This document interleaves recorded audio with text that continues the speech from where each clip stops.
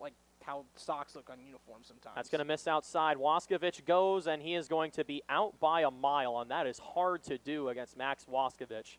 That was a pop and fire by Stevanovic behind the plate. Wow, that was just a great job there.